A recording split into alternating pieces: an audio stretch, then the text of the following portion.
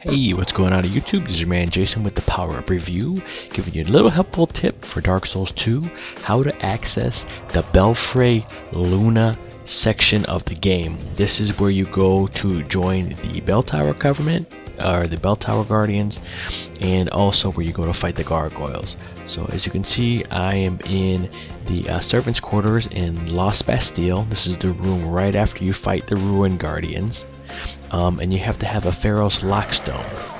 Um, now be careful for this dog because it is always sitting there in the corner in the dark. Uh, what you do is you put the uh, Pharros Lockstone um, here in the face, and what it'll do is it'll reveal a hidden uh, door. Once you bash the wall, um, you'll be able to access the Belfry Luna section. It's not a very long section, but you do have to be careful for gray spirit invaders that are part of the Bell Covenant. And there's a little midget guy on the right hand side of the door um, right after I go through here. He will, uh, you keep talking to him, and eventually he'll ask you if you want to join the Covenant, and you can go ahead and join the Covenant.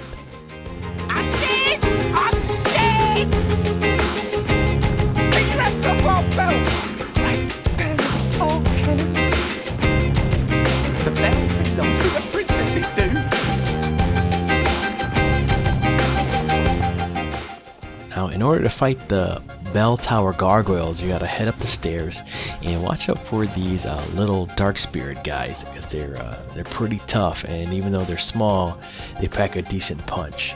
Uh, what you do is you go up the second set of stairs and you will see a door, and that's the, pretty much the boss door.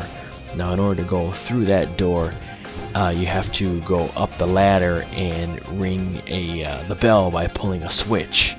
And once you get up the ladder, there's maybe I want to say five or six of those dark spirit bell tower guardians guys waiting for you.